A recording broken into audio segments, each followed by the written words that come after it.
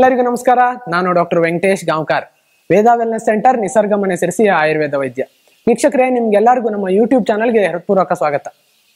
So ನಮ್ಮ ಹಲವಾರು ಜನರಲ್ಲಿ ಒಂದು ಸಮಸ್ಯೆ ಇದ್ದೇ ಇದೆ. ಯಾವುದು ಅಂತ ಹೇಳಿದ್ರೆ, ನಾವು ಸ್ವಲ್ಪ ಕೆಲಸ ಮಾಡಿದ್ರು ಕೂಡ ಸುಸ್ತಾಗ್ಬಿಡ್ತೇವೆ. ಅದರ ಜೊತೆ ನಮಗೆ ಬೇಗ ಮೈಕೈ ನೋವು ಬರ್ತದೆ. ಅದರ ಜೊತೆ ನಾನು ಶರೀರದಲ್ಲಿ ಇನ್ನೂ ಸ್ವಲ್ಪ ಪುಷ್ಟಿ ಆಗಬೇಕು. ಮತ್ತು ನನಗೆ ಎಲ್ಲ ಕೆಲಸವನ್ನು ಮಾಡ್ಕೊಂಡು ಹೋಗುವಂಥ ಶಕ್ತಿ ಬರಬೇಕು. ನಾನು ಆರೋಗ್ಯವಂತನಾಗಿರ್ಬೇಕು ಅನ್ನುವಂಥದ್ದು ಪ್ರತಿಯೊಬ್ಬರ ಬಯಕೆ. ಸೊ ಇದಕ್ಕೆಲ್ಲದಕ್ಕೂ ಕೂಡ ನಾವು ಹಲವಾರು ವಿಧವಾದಂಥ ಒಂದು ಮಾರ್ಗವನ್ನು ಹುಡ್ಕೊಳ್ತಾ ಇರ್ತೇವೆ. ಸೊ ಇದು ಯಾವುದು ಅಕಸ್ಮಾತ್ ಆಗಿಲ್ಲ ಅಂತಂದ್ರೆ ನಾವೇನ್ ಮಾಡ್ತೇವೆ? ಹೋಗಿ ಬ್ಲಡ್ ಟೆಸ್ಟ್ ಅನ್ನ ಮಾಡಿಸ್ತೇವೆ. ವಿಟಮಿನ್ಸ್ ಅನ್ನ ಟೆಸ್ಟ್ ಮಾಡಿಸ್ತೇವೆ. ವಿಟಮಿನ್ ಬಿ ಟ್ವೆಲ್ ಅನ್ನ ಮಾಡಿಸ್ತೇವೆ. ವಿಟಮಿನ್ ಡಿ ಅನ್ನ ಮಾಡಿಸ್ತೇವೆ. ಕ್ಯಾಲ್ಸಿಯಂ ಅನ್ನ ಟೆಸ್ಟ್ ಮಾಡಿಸ್ತೇವೆ. ಇದನ್ನೆಲ್ಲ ಟೆಸ್ಟ್ ಮಾಡಿಸ್ತೇವೆ. ಆದರೆ ನಾವು ಒಂದು ಮೂಲಭೂತ ಒಂದು ಪೋಷಕಾಂಶವನ್ನೇ ಮಾರ್ತಿದ್ದೇವೆ ವೀಕ್ಷಕರೇ. ಅದು ಯಾವುದು? ಪ್ರೋಟೀನ್. ಖಂಡಿತವಾಗಿ ಹೌದು. ನಾವು ಪ್ರೋಟೀನ್ ಅನ್ನ ಅತಿ ಕಡಿಮೆ ಆಹಾರದಲ್ಲಿ ಸೇವಿಸ್ತಾ ಇದ್ದೇವೆ. ಸೊ ಪ್ರೋಟೀನ್ನ ಬಗ್ಗೆ ಜನರಿಗೆ ಜಾಗೃತಿ ಇಲ್ಲ. ಸೊ ಆ ಒಂದು ಪ್ರೋಟೀನ್ ಶರೀರಕ್ಕೆ ಎಷ್ಟು ಮುಖ್ಯ ಮತ್ತು ಪ್ರೋಟೀನ್ನ ಕೆಲಸ ಏನು? ಸೊ ಅದು ಹೇಗೆ ನಾವು ಪಡ್ಕೊಳ್ಬಹುದು ಎಷ್ಟು ತಿನ್ಬೇಕು? ಯಾರು ತಿನ್ಬೇಕು? ಯಾರು ತಿನ್ನಬಾರ್ದು ಇದೆಲ್ಲವನ್ನು ಕೂಡ ನಾನು ಹೇಳ್ತಾ ಬರ್ತೇನೆ. ಸೊ ಈ ಒಂದು ವಿಷಯ ನಿಮಗೆ ಎರಡು ಪಾರ್ಟ್ಗಳಲ್ಲಿ ಲಭ್ಯ ಇರ್ತದೆ. ಇವತ್ತಿನ ಒಂದು ಈ ಸಂಚಿಕೆಯಲ್ಲಿ ನಾನು ಒಂದಷ್ಟು ವಿಷಯಗಳನ್ನ ಕವರ್ ಮಾಡ್ತೇನೆ. ಮತ್ತು ಇನ್ನೊಂದು ಇಂಟ್ರೆಸ್ಟಿಂಗ್ ವಿಡಿಯೋದೊಂದಿಗೆ ಇದನ್ನೇ ಮುಂದುವರಿಸ್ತೇನೆ, ಮುಂದಿನ ಒಂದು ವಿಡಿಯೋದಲ್ಲಿ ಸೊ ಇವತ್ತು ಬನ್ನಿ, ನಾವು ಪ್ರೋಟೀನ್ನ ಬಗ್ಗೆ ಬೇಸಿಕ್ ಕಾನ್ಸೆಪ್ಟ್ಸ್ನ ತಿಳ್ಕೊಳ್ಳೋಣ. ಸೊ ಇದನ್ನೆಲ್ಲ ತಿಳ್ಕೊಳ್ಳೋದಕ್ಕಿಂತ ಮುಂಚೆ ನೀವು ನಮ್ಮ ಯೂಟ್ಯೂಬ್ ಚಾನಲ್ನ ಸಬ್ಸ್ಕ್ರೈಬ್ ಮಾಡಿ. Doctor Hegde's self tips WhatsApp ಗ್ರೂಪ್ನ ಲಿಂಕ್ ಇಲ್ಲಿ ಡಿಸ್ಕ್ರಿಪ್ಷನ್ ಬಾಕ್ಸ್ನಲ್ಲಿ ಲಭ್ಯ ಇದೆ. ಕ್ಲಿಕ್ ಮಾಡಿ ಜಾಯ್ನ್ ಆಗಿ ಉಚಿತವಾಗಿ ಹೆಲ್ತ್ ಟಿಪ್ಸ್ ಅನ್ನ ಪಡ್ಕೊಳ್ಳಿ. ಅದರ ಜೊತೆಗೆ ಉಚಿತ ಆನ್ಲೈನ್ ಸಂದರ್ಶನಕ್ಕಾಗಿ ಈ ನಂಬರ್ಗಳಿಗೆ ಮಿಸ್ ಕಾಲನ್ನು ನೀಡಿ. ವೀಕ್ಷಕರೇ ಪ್ರೋಟೀನ್ಸ್ ಹೌದು ಐದು ಮುಖ್ಯವಾದಂತಹ ಪೋಷಕಾಂಶಗಳಲ್ಲಿ ಪ್ರೋಟೀನ್ ಕೂಡ ಒಂದು. ಕಾರ್ಬೋಹೈಡ್ರೇಟ್, ಫ್ಯಾಟ್ಸ್, ಪ್ರೋಟೀನ್ಸ್, ಮಿನರಲ್ಸ್ ಮತ್ತು ವಿಟಮಿನ್ಸ್. ಇದಿಷ್ಟನ್ನ ನಾವು ಮುಖ್ಯವಾದಂತಹ ಐದು ಪೋಷಕಾಂಶಗಳು ಅಂತ ಕರಿತೇವೆ. ಅದರಲ್ಲೂ ನಾವು ಪ್ರೋಟೀನ್ನ ಬಗ್ಗೆ ಅತಿ ಮುಖ್ಯವಾಗಿ ತಿಳ್ಕೊಬೇಕು. ಸೊ ಈ ಪ್ರೋಟೀನ್ ಅನ್ನುವಂಥದ್ದು ಅಮಿನೋ ಆಸಿಡ್ಸ್ನಿಂದ ಮಾಡಲ್ಪಟ್ಟಂತಹ ಮುಖ್ಯವಾದಂತಹ ಪೋಷಕಾಂಶಗಳು. ಸೊ ಇಪ್ಪತ್ತು ಅಮಿನೋ ಆಸಿಡ್ಗಳು ಈ ಪ್ರೋಟೀನ್ ಮಾಡಲ್ಪಟ್ಟಿರುತ್ತವೆ. ಇದರಲ್ಲಿ ಒಂಬತ್ತು ಅಮಿನೋ ಆಸಿಡ್ಗಳು ನಮಗೆ ಶರೀರದಲ್ಲಿ ಉತ್ಪತ್ತಿ ಆಗೋದಿಲ್ಲ. ಅದನ್ನ ನಾವು ಹೊರಗಡೆ ಆಹಾರದ ರೂಪದಿಂದ ಸೇವಿಸಲೇಬೇಕಾಗ್ತದೆ. ಸೊ ಹಾಗಾಗಿ ಈ ಪ್ರೋಟೀನ್ ಅನ್ನುವಂಥದ್ದು ಮುಖ್ಯವಾದಂತಹ ಒಂದು ಮ್ಯಾಕ್ರೋ ನ್ಯೂಟ್ರಿಯೆಂಟ್ ಒಂದು ಸ್ಥೂಲ ಪೋಷಕಾಂಶ ಅಂತ ಹೇಳುವಂಥದ್ದು. ಸೊ ಈ ಪ್ರೋಟೀನ್ ನಮ್ಗೆ ಏನಕ್ಕೆ ಬೇಕು? ಸೊ ಈಗಾಗಲೇ ನಾನು ಹೇಳಿರುವಂತೆ ನಮ್ಮ ಶರೀರದ ಬಿಲ್ಡಿಂಗ್ ಬ್ಲಾಕ್ಸ್ ಇದು. ಹೇಗೆ ನಾವು ಒಂದು ಮನೆಯನ್ನ ಕಟ್ಟಬೇಕಾದ್ರೆ ಕಲ್ಲನ್ನು ಅಥವಾ ಇಟ್ಟಿಗೆಯನ್ನ ಇಟ್ಟು ಕಟ್ತೇವೆ ಅದೇ ರೀತಿ ಕೆಲಸವನ್ನ ನಮ್ಮ ಶರೀರದ ಒಂದು ಸೌಧಕ್ಕೆ ಈ ಒಂದು ಪ್ರೋಟೀನ್ ಕಲ್ಲಾಗಿ ಕೆಲಸ ಮಾಡ್ತದೆ ಅಥವಾ ಒಂದು ಬಿಲ್ಡಿಂಗ್ ಬ್ಲಾಕ್ಸ್ ಅಂತ ಇದನ್ನ ಕರೀತಾರೆ. ಸೊ ನಮ್ಮ ಶರೀರದ ಬೆಳವಣಿಗೆಗೆ, ನಮ್ಮ ಶರೀರದ ಗ್ರೋತಿಗೆ ಈ ಪ್ರೋಟೀನ್ ಅತಿ ಮುಖ್ಯವಾಗಿ ಬೇಕು. ಸೊ ಇದಿಷ್ಟನ್ನು ನಾವು ಕೆಲವರು ತಿಳ್ಕೊಂಡಿದ್ದೇವೆ. ಆದರೆ, ಇಡೀ ಶರೀರದ ಎಲ್ಲಾ ಕೆಲಸಗಳಿಗೂ ಪ್ರೋಟೀನ್ ಬೇಕೇ ಬೇಕು ಅನ್ನುವಂಥದ್ದನ್ನ ನೀವು ಗಮನಿಸಬೇಕು. ಸೊ ರೋಗ ನಿರೋಧಕ ಶಕ್ತಿಯಾಗಿ ಕೆಲಸ ಮಾಡುವಂತ ಆಂಟಿಬಾಡೀಸ್ ಕೂಡ ಪ್ರೋಟೀನ್ಸ್ ಸೊ ಇನ್ಸುಲಿನ್ ಮುಂತಾದ ಇತರ ಒಂದು ಹಾರ್ಮೋನ್ಗಳು ಕೂಡ ಒಂದು ಪ್ರೋಟೀನ್ಸ್ ನಮ್ಮ ಬೋನ್ಸ್ ಕೂದಲು ಮತ್ತು ಮಾಂಸಖಂಡಗಳಲ್ಲಿ ಇರುವುದೆಲ್ಲವೂ ಕೂಡ ಪ್ರೋಟೀನ್ಸ್ ಸೊ ಹಾಗಾಗಿ ಇಡೀ ಶರೀರದ ಎಲ್ಲಾ ಒಂದು ಚಟುವಟಿಕೆಗಳನ್ನು ನಿಯಂತ್ರಣ ಮಾಡುವಂಥದ್ದು ಪ್ರೋಟೀನ್ಸ್ ಸೊ ಹಾಗಾಗಿ ಈ ಒಂದು ಪ್ರೋಟೀನ್ನ ಬಗ್ಗೆ ನೀವು ಸಂಪೂರ್ಣ ವಿಷಯವನ್ನ ತಿಳ್ಕೊಂಡು ನಿಮ್ಮ ಆಹಾರ ಶೈಲಿಯಲ್ಲಿ ನೀವು ಬದಲಾವಣೆ ಮಾಡಿಕೊಳ್ಳಬೇಕು.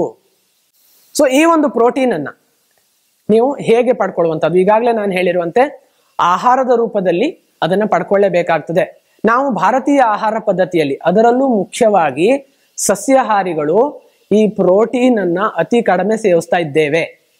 ವೀಕ್ಷಕರೇ, ನೀವು ಇದನ್ನ ಗಮನಿಸ್ಕೋಬೇಕು. ನಮ್ಮ ಭಾರತೀಯ ಆಹಾರ ಪದ್ಧತಿಯಲ್ಲಿ ಸಸ್ಯಾಹಾರಿಗಳು ಪ್ರೋಟೀನ್ ಅನ್ನ ಅತಿ ಕಡಿಮೆ ಸೇವಿಸ್ತಾ ಇದ್ದೇವೆ. ಸೊ ಈ ಪ್ರೋಟೀನ್ ನಮಗೆ ಶರೀರಕ್ಕೆ ಎಷ್ಟು ಬೇಕು ಅನ್ನುವಂಥದ್ದನ್ನ ನೀವು ಮೊದಲು ತಿಳ್ಕೊಬೇಕಾಗ್ತದೆ. ಸೊ ಒಬ್ಬ ವ್ಯಕ್ತಿ ಉದಾಹರಣೆಗೆ ಎಪ್ಪತ್ತೈದು ಕೆ ಜಿ ಇದ್ದಾನೆ. ಅಂತ ಅಂದ್ರೆ ಅವನು ದಿನಕ್ಕೆ ಅರವತ್ತು ಗ್ರಾಮ್ನಷ್ಟಾದ್ರೂ ಪ್ರೋಟೀನ್ ಅನ್ನ ಸೇವಿಸಲೇಬೇಕಾಗತ್ತೆ. ಅಂದ್ರೆ zero point eight gram per K G body weight ಅಂತ. So this is minimum so ನೀವು ಇಲ್ಲ, ಸಾಧ್ಯತೆ ಇಲ್ಲ, ನಮ್ಮ ಆಹಾರ ಪದ್ಧತಿ ಆ ರೀತಿ ಇದೆ ಅನ್ನೋದಾದ್ರೆ ನಿಮ್ಮ ತೂಕದ ಅರ್ಧದಷ್ಟಾದರೂ ಗ್ರಾಮ್ಸ್ ನಷ್ಟು. ಫಾರ್ ಎಕ್ಸಾಂಪಲ್ ಎಪ್ಪತ್ತು ಕೆ ಜಿ ಇದ್ದವನು ಮೂವತ್ತೈದು ಗ್ರಾಮ್ನಷ್ಟು ಪ್ರೋಟೀನ್ಸ್ ಆದರೂ ಸೇವಿಸಲೇಬೇಕಾಗ್ತದೆ. ನೀವು ಕೇಳ್ಬೋದು ಪ್ರಶ್ನೆ. ನಾನು ಮೂವತ್ತೈದು ಗ್ರಾಮ್ ಅನ್ನು ಹೇಗೆ ಅಳತೆ ಮಾಡಿ ತಗೊಳ್ಳಿಕ್ಕಾಗುತ್ತೆ ಡಾಕ್ಟ್ರೇ ಅಂತ. ಸೊ ಅದರ ಉತ್ತರ ಈಗಿದೆ ಏನಂತಂದ್ರೆ, ನೀವು ಆಹಾರದಲ್ಲಿ ಪ್ರೋಟೀನ್ ಅನ್ನ ಸೇವಿಸ್ತಾ ಹೋದಾಗ ನಿಮ್ಮ ಶರೀರ ಅದನ್ನು ಉಪಯೋಗಿಸ್ಕೊಳ್ತಾ ಹೋಗುತ್ತೆ. ಯಾವಾಗ ಅದು ಹೆಚ್ಚಾಗುತ್ತೆ, ಆ ಒಂದು ಸಂದರ್ಭದಲ್ಲಿ ಕೆಲವು ಲಕ್ಷಣಗಳನ್ನ ತೋರಿಸುತ್ತೆ. ಸೊ ಆ ಲಕ್ಷಣಗಳನ್ನ ನೀವು ಮೊದಲು ತಿಳ್ಕೊಬೇಕಾಗತ್ತೆ. ಸೊ ಹಾಗಾಗಿ ಕೆಲವರಿಗೆ ಹೆಚ್ಚಾದಂತ ಪ್ರೋಟೀನ್ ಏನ್ ಮಾಡುತ್ತೆ? ಕೆಲವರಿಗೆ ಕಾನ್ಸ್ಟಿಪೇಷನ್ ಅನ್ನು ಉಂಟು ಮಾಡುತ್ತೆ ಕೆಲವರಿಗೆ ಹೊಟ್ಟೆಯಲ್ಲಿ ಅನ್ಈಸಿನೆಸ್ ಡೈಜೆಷನ್ ಒಂದು ಸಮಸ್ಯೆಯನ್ನು ಉಂಟು ಮಾಡುತ್ತೆ. ಕೆಲವರಿಗೆ ಈ ಒಂದು ಡಯೇರಿಯಾವನ್ನು ಉಂಟು ಮಾಡುತ್ತೆ ಅಥವಾ ಲೂಸ್ ಮೋಷನ್ ಅನ್ನು ಉಂಟು ಮಾಡುತ್ತೆ. ಇದು ಯಾವುದು ಆಗ್ತಾ ಇಲ್ಲ ಅಂತ ಆದ್ರೆ ಖಂಡಿತವಾಗಿ ನಿಮಗೆ ಪ್ರೋಟೀನ್ ಹೆಚ್ಚು ಆಗಿಲ್ಲ.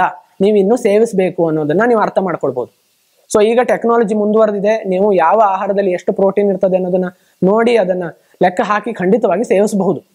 ಸೊ ಹಾಗಾಗಿ ನಾನು ಹೇಳ್ತಾ ಇರುವಂತದ್ದು ಏನಪ್ಪಾ ಅಂದ್ರೆ, ನೀವು ನಿಮ್ಮ ತೂಕದ ಅರ್ಧದಷ್ಟು ಗ್ರಾಮ್ನಾದರೂ ಪ್ರೋಟೀನ್ ಅನ್ನ ಆಹಾರದಲ್ಲಿ ಸೇವಿಸಲೇಬೇಕು. ಸೊ ಇದನ್ನ ಮೊಟ್ಟ ಮೊದಲು ನೀವು ಅರ್ಥ ಮಾಡ್ಕೊಂಡಿರ್ಬೇಕು. ನಮ್ಮ ಭಾರತೀಯ ಆಹಾರ ಪದ್ಧತಿಯಲ್ಲಿ ಅಕ್ಕಿ, ರಾಗಿ, ಗೋಧಿ, ಜೋಳವನ್ನ ನಾವು ಹೆಚ್ಚಾಗಿ ಸೇವಿಸ್ತೇವೆ. ಅದರಲ್ಲಿ ಪ್ರೋಟೀನ್ ಅಂಶ ತುಂಬಾ ಕಡಿಮೆ ಇರ್ತದೆ.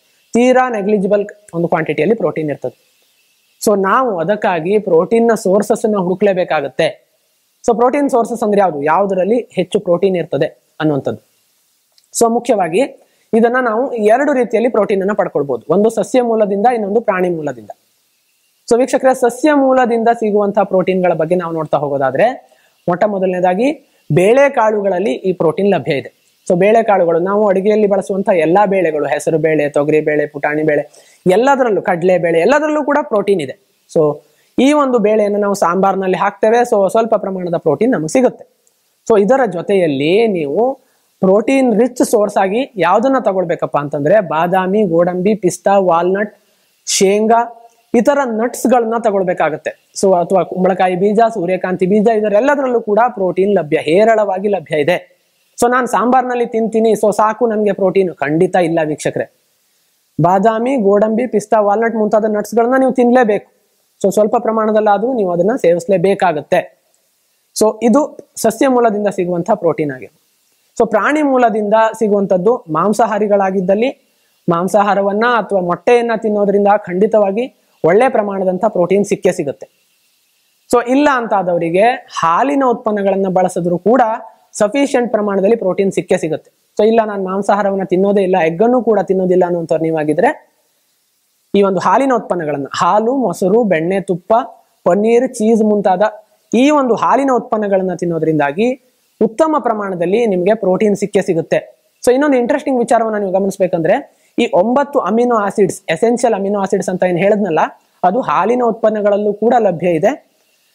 ಈ ಸಸ್ಯ ಮೂಲದಿಂದ ಸಿಗುವಂತ ಪ್ರೋಟೀನ್ಗಳಲ್ಲಿ ಕೆಲವು ಅಮಿನೋ ಆಸಿಡ್ಗಳು ಇರೋದಿಲ್ಲ. ಸೊ ಹಾಗಾಗಿ ವೆಜಿಟೇರಿಯನ್ಸ್ ಯಾರು ಬೇಜಾರು ಮಾಡ್ಕೊಳ್ಳೋ ಅವಶ್ಯಕತೆ ಇಲ್ಲ. ಸಸ್ಯ ಮೂಲದ ಪ್ರೋಟೀನ್ನ ಸೇವಿಸ್ತಾ ಹಾಲಿನ ಉತ್ಪನ್ನಗಳನ್ನು ನೀವು ಸೇವಿಸಿದ್ರೆ ನಿಮಗೆ ಎಲ್ಲಾ ಪ್ರೋಟೀನ್ ಮೈಗೆ ದಕ್ಕದಂಗೆ ಆಗುತ್ತೆ. ಸೊ ಇದು ಪ್ರೋಟೀನ್ನ ನೀವು ಸೇವಿಸ್ಲಿಕ್ಕೆ ಇರುವಂತ ಸೋರ್ಸ್ಗಳು ಅಥವಾ ಆಗರಗಳು. ಸೊ ಇದಿಷ್ಟು ಪ್ರೋಟೀನ್ ಅನ್ನ ನಾವು ಹೇಗೆ ಸೇವಿಸಬೇಕು, ಎಷ್ಟು ಸೇವಿಸಬೇಕು ಅನ್ನುವಂಥದ್ದು. ಸೊ ವೀಕ್ಷಕರೇ, ಇನ್ನೊಂದು ಇಂಟ್ರೆಸ್ಟಿಂಗ್ ವಿಚಾರವನ್ನ ನಾನು ನಿಮ್ ಜೊತೆ ಡಿಸ್ಕಷನ್ ಮಾಡ್ಲಿಕ್ಕೆ ಇಷ್ಟಪಡ್ತಾ ಇರೋದು ಯಾವುದು ಅಂತಂದ್ರೆ, ಯಾರು ಪ್ರೋಟೀನ್ ಅನ್ನು ಹೆಚ್ಚಾಗಿ ಸೇವಿಸಬೇಕು, ಯಾರು ಪ್ರೋಟೀನ್ ಅನ್ನ ಅತಿ ಕಡಿಮೆ ಸೇವಿಸಬೇಕು ಅನ್ನುವಂಥ ಒಂದು ಪಾಯಿಂಟ್ ಅನ್ನು ಸೊ ಯಾರು ವೇಟ್ ಲಾಸ್ ಅನ್ನ ಮಾಡ್ಲಿಕ್ಕೆ ಇಷ್ಟಪಡ್ತಾ ಇದ್ದೀರಿ, ಯಾರು ಬೊಜ್ಜನ್ನ ಅತಿ ಹೆಚ್ಚಾಗಿ ಹೊಂದಿದ್ದೀರಿ ಅಂಥವರು ಈ ಪ್ರೋಟೀನ್ ಯುಕ್ತ ಆಹಾರವನ್ನು ಹೆಚ್ಚಾಗಿ ಸೇವಿಸಬಹುದು ಅಥವಾ ಕೆಲವೊಮ್ಮೆ ಪ್ರೋಟೀನ್ ಸಪ್ಲಿಮೆಂಟ್ಸ್ಗಳನ್ನು ಕೂಡ ಸೇವಿಸಬಹುದು. ಅಥವಾ ಯಾರು ನಮ್ಮ ಮಾಂಸಖಂಡಗಳ ಶಕ್ತಿಯನ್ನು ಹೆಚ್ಚು ಮಾಡ್ಕೊಳ್ಳಿಕ್ಕೆ ಅಥವಾ ನೀವು ಸ್ವಲ್ಪ ಇನ್ನೂ ದಪ್ಪಗಾಗಬೇಕು ಅಥವಾ ಪುಷ್ಟಿಯನ್ನು ಹೊಂದಬೇಕು ಅಂತ ಇಷ್ಟಪಡ್ತಾ ಇದ್ರೆ ಅಂಥವರು ಈ ಪ್ರೋಟೀನ್ ಯುಕ್ತ ಆಹಾರವನ್ನ ಸ್ವಲ್ಪ ಹೆಚ್ಚಾಗಿ ಸೇವಿಸಬಹುದು.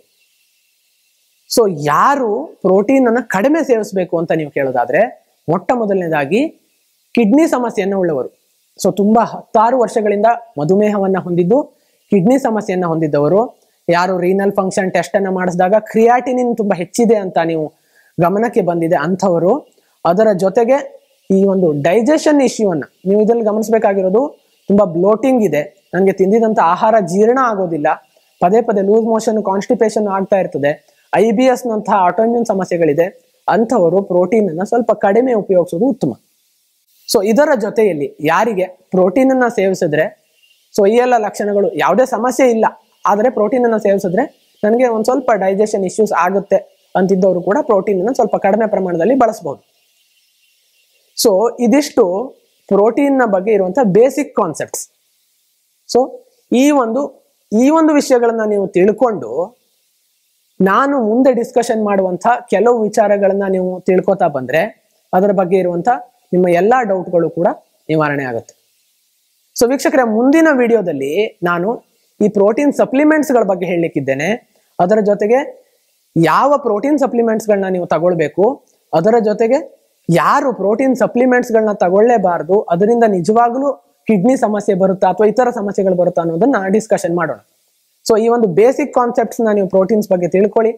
ನಮ್ಮ ಆಹಾರದಲ್ಲಿ ಈಗಾಗಲೇ ನಾವು ಪ್ರೋಟೀನ್ ಕೊರತೆಯನ್ನ ಅನುಭವಿಸ್ತಾ ಇದ್ದೇವೆ.